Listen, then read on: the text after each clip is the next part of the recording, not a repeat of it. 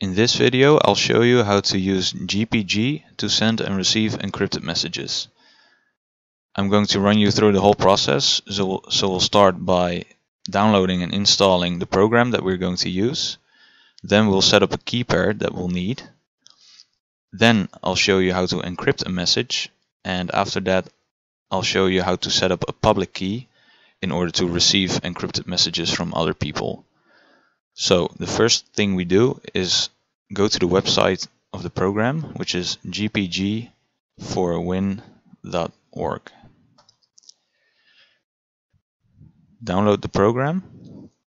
Now, if you want, you can donate, but if you don't want to donate, then you can select the $0 option and press download.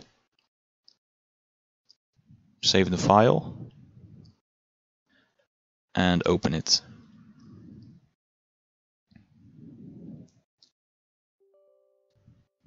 Press yes. Okay, we're now going to install the program. So select your language. Press next. And this is the first important step. You'll want to tick this box that says GPA. If you don't do this, you'll can't do what we're going to do. So tick this box and click next.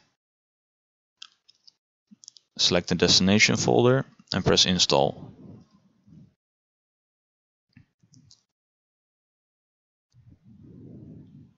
Completed. Okay. Next.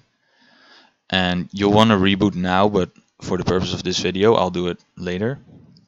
So finish. And it's now given us two programs, GPA and Kleopatra.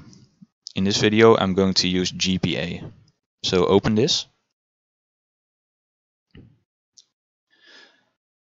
So now we've opened the program and it immediately immediately tells us that we do not have a private key yet. So that's the next thing that we're going to do. So generate key now. And it will ask you to enter a name, but you can just enter anything you want. So your name here. Press forward. An email address. Now this can be fake, so just enter anything you like. Fake email privacy.com. Forward again. And you want to create a backup copy. So select that and forward. Next thing is to create a passphrase. Now I recommend you choose a long and difficult passphrase.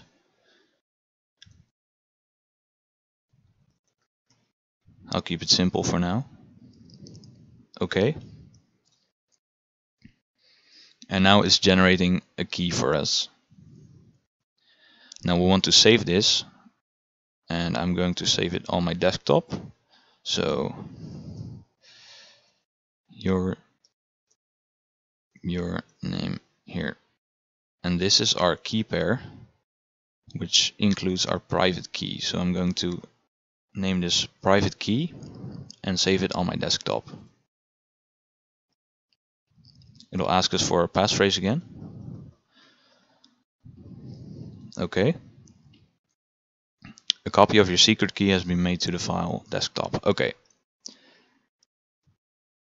So now, as you can see, it has created a private key and it also shows up in the key manager of the program.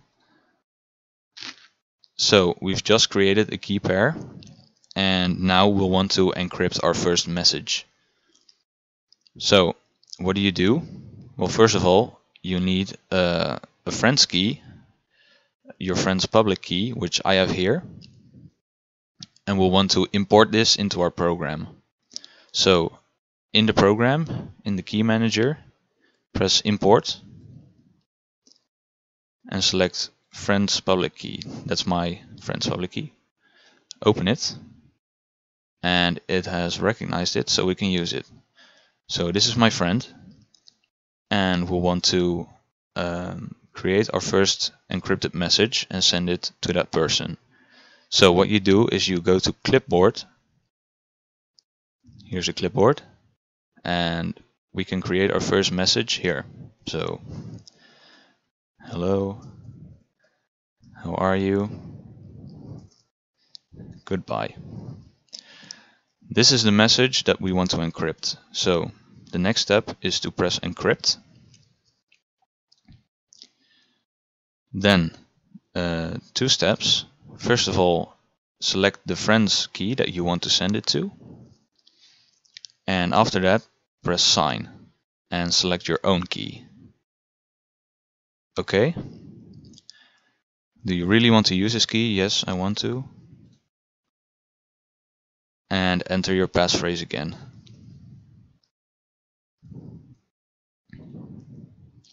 Now, we've just encrypted our first message. So this is the message that only our friend is able to decrypt and read. So now, copy this message and send it to your friend. You can do this via email or Discord or Telegram, whatever you want. Now I'm not going to do that in this video, but what I'm going to show you is um, how to receive an encrypted message and decrypt it from a friend. So first of all, um, you need to share your key, but um, we need to separate our public key from our private key because we don't want to send our private key over the internet because then um, anyone can decrypt our message. So we're going to do that now. I'm going to close the clipboard for now. And on the desktop, we have our private key here. Now we're going to open this. I'm going to use Notepad++, but you can also use the standard um, Notepad. And it'll give, us a, a text file with a public key here, up to here.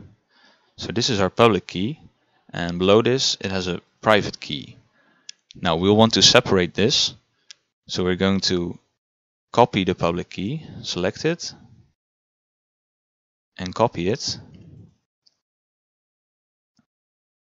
And our program just stopped working. Well, um, create a new text file and paste the public key.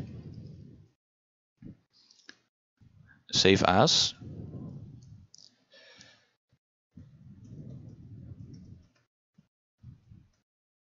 Public key. Save it. And now this is your public key. You need to send this. Here it is. You need to send this to your friend. And then your friend can do the same steps that we just did and send you a message. Now, when you've received an encrypted message, you open GPA. You uh, paste the message that you got, uh, which we don't have now, and press decrypt. Now, if your friend has done uh, everything right, you just press decrypt and the message will appear. So that's all. Um, I hope this was clear enough. Uh, if not, please let me know uh, in the comments. So thank you for watching and I'll see you next time.